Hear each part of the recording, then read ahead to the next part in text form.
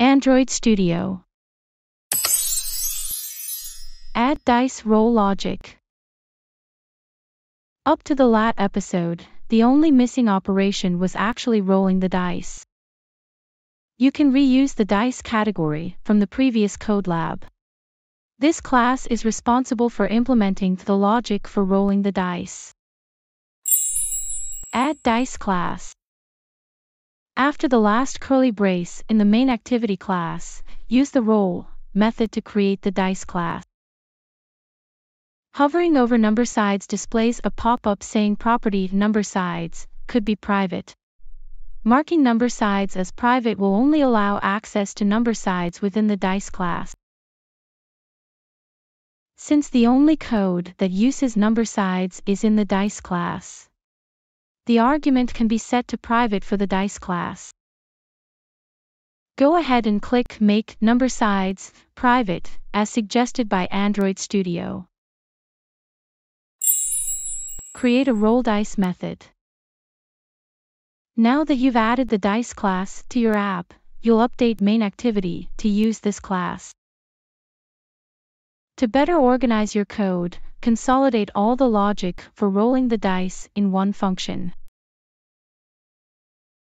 Replace the code in the click listener that sets the text to 6 by calling roll dice.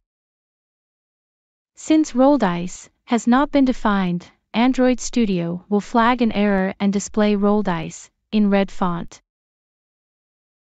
If you hover over roll dice, Android Studio displays the problem and some possible solutions. Click More Actions, the system will display a menu. Select Create Function, Roll Dice. Android Studio creates empty definitions for functions inside main activity. Create a new dice object instance. In roll dice, remove the to-do call. Add code to create a six-sided dice. Roll the dice by calling the roll method and save the result in a variable named dice roll. Find the text view by calling find view by ID. The variable dice roll is a number, but the text view uses text.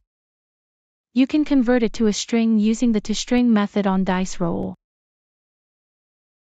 Convert dice roll to a string and update result text views text with that string.